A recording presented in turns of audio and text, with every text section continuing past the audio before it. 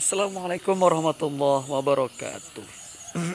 Sahabatku sekalian, hari ini kita kembali menyapa ya, ketemu kembali di channel saya, Dusa Berkarya. Dan ini saya berada di depan Rusunawa Padang Pariaman ya, di Kabupaten Padang Pariaman, Provinsi Sumatera Barat ya. Tampak di depan saya itu, nah ini pintu depan ya Rusunawa yang sudah dipel bersih oleh petugas dan sengaja ditutup sementara karena baru dibersihkan dipel sehingga nunggu kering kalau kita mau lewat. Jadi kita lewatnya lewat sana dulu lewat ujung sana ya baru bisa kita ke sini. Oke apa sih yang mau kita sampaikan untuk di video ini? Oh gini ya kita harus ingat dulu. Apa sih itu Rusunawa? Tuh. Oke. Rusunawa yang sudah kita ketahui ya rumah susun ya. Rumah susun yang ada di setiap kabupaten atau daerah masing-masing atau kota gitu ya. Itu dipakai untuk tempat atau sebagai tempat pelatihan atau tempat hmm, karantina atau tempat semacam itulah ya uh, untuk berlatih atau mungkin dievakuasi atau di semacamnya. Atau ya bagi pasien-pasien seperti yang sekarang ini termasuk saya ya kaderullah saya termasuk ya, pasien COVID-19 ya yang telah dikeluarkan suratnya oleh laboratorium Unan pada hari Senin pagi ya hari Senin pagi atau tanggal 19 April 2021 itu kaderullah saya terkonfirmasi positif. Jadi nggak apa ya mungkin pengalaman juga bagaimana caranya kita agar hmm, optimis ya dari terjangkit ya atau terpapar virus COVID-19 ini. Jadi eh, kali ini saya akan berbagi tips bagaimana ketika kita menjadi pasien ya dari hari pertama sampai hari nanti hari ini ya. Ini sudah hari keberapa nih? Nantilah saya cerita. Oke, yang pertama ketika kita diberitahu ya, di swab lah pertama ya.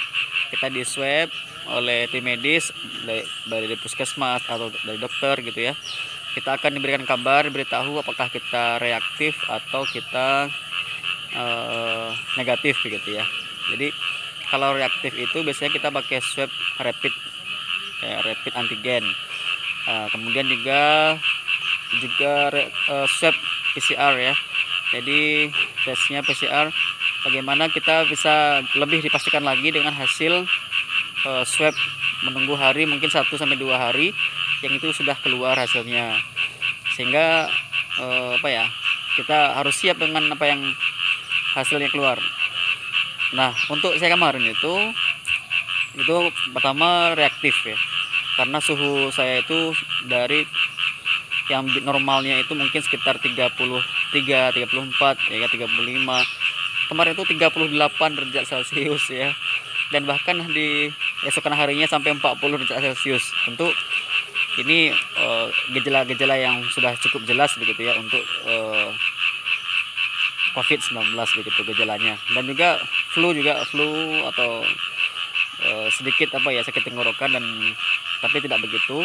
Tapi yang paling jelas itu adalah suhu sudah 38 derajat celcius. Nah, ketika indera pengecap kita lidah kita sudah sudah mulai uh, pahit gitu ya karena enzim-enzim sudah pecah sudah tidak sudah rusak ya protein pun juga rusak karena suhunya sudah tinggi maka ini ya maka ketika kita minum itu pahit makan juga dan selera makan otomatis juga akan berpengaruh ya.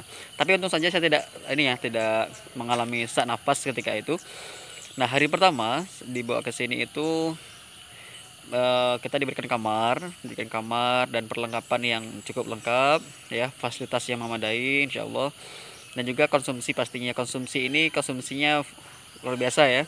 Uh, zat gizinya juga penuh vitaminnya buahnya sayurnya juga diberikan suplemen dan juga pembukuan eh, sahur juga yang itu sudah cukup untuk kita untuk sendiri bahkan lebih makan. Kemudian hmm, apa lagi ya e, dari segi ini dari segi tempat ya.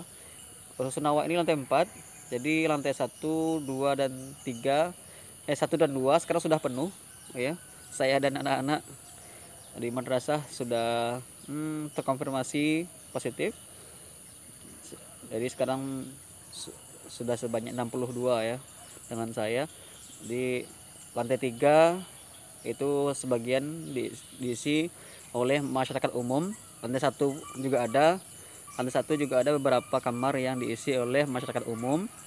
Sehingga kita harus bisa e, berinteraksi sosialisasi dan juga bisa harus bisa hmm, iya menjaga kehidupan yang harmonis lah gitu ya antar kamar.